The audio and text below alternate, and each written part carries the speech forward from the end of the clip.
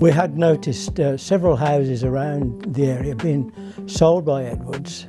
So, along with my son, who's a part owner, uh, we called in to see him. And um, Edwards certainly made uh, an impression.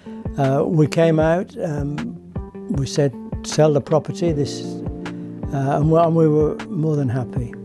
It took some while to sell. Um, there, it was a, a, number of flats, um, but they, they did sell eventually. But we had an excellent service from them. Uh, the whole staff, we, we didn't have a problem. Uh, and would I recommend them again? Yes, most certainly.